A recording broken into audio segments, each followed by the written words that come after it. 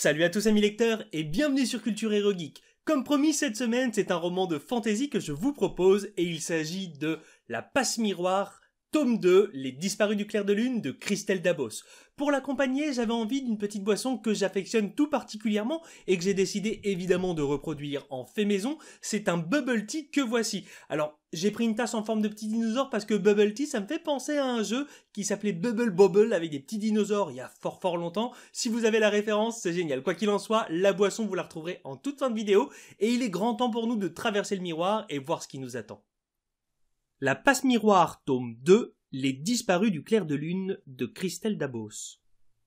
Il n'y a que deux catégories de femmes dans l'entourage de notre seigneur Farouk. Celles qui cèdent leur charme et celles qui cèdent leur service.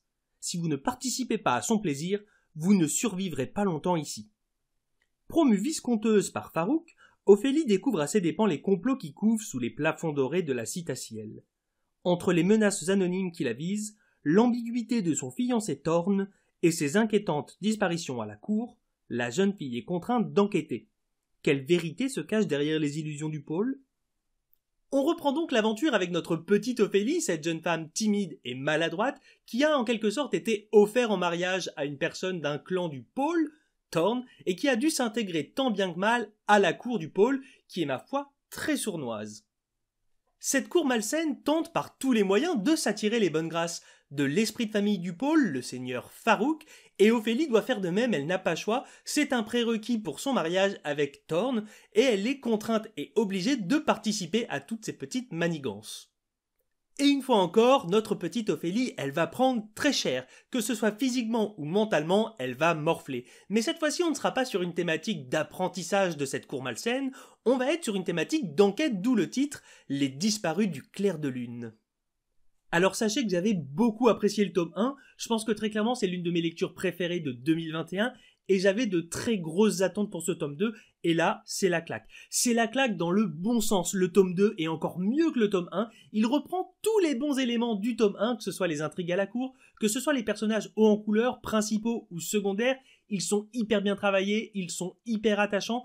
Tout est intéressant, il y a de nombreuses intrigues, il y a de nombreux retournements de situation, l'univers est très intéressant, et en plus de ça, petit bonus, on a une histoire autour d'une enquête sur les disparus du clair de lune qui est captivante. J'ai été saisi par ce bouquin. Je l'ai lu en à peine 4 jours. Je l'ai vraiment dévoré à une vitesse incroyable. À tel point que j'en avais même peur pour certains personnages. Être autant attaché à des personnages dans seulement deux tomes et craindre finalement pour leur vie, c'était vraiment du très haut de gamme pour moi. J'ai adoré. Et les éloges ne s'arrêtent pas là. J'aimerais vous parler du personnage principal Ophélie et surtout de son évolution. C'est une évolution tellement bien pensée, tellement bien amenée que franchement ça m'a fait hyper plaisir de la découvrir. Faut savoir qu'Ophélie c'est un personnage timide, maladroit, introverti et que malgré tout elle va devoir aller plus loin que ça. Elle va être forcée à agir. Alors oui, elle va être poussée dans ses retranchements, mais ça va la forcer à changer et malgré tout l'essence de ce personnage, toute cette maladresse, va être conservée. Et ça j'ai trouvé ça tellement bien pensé, c'est vraiment très plaisant à suivre. Et pour moi, j'ai l'impression que ça fonctionne tellement bien, tout simplement parce qu'il y a un réel souci du détail qui compte, du détail important, et ça fait toute la force de ce roman.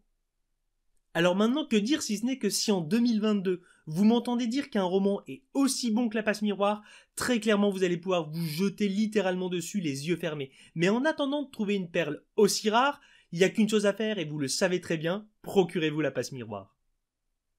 Avant de conclure, une dernière petite chose, si par hasard un jour l'auteur Christelle Dabos passe sur cette vidéo, eh bien un grand merci à elle, c'est vraiment de la littérature très inspirante. Si on a l'occasion d'en discuter, j'en serais évidemment ravi, et puis un petit autographe, ça fait évidemment toujours plaisir.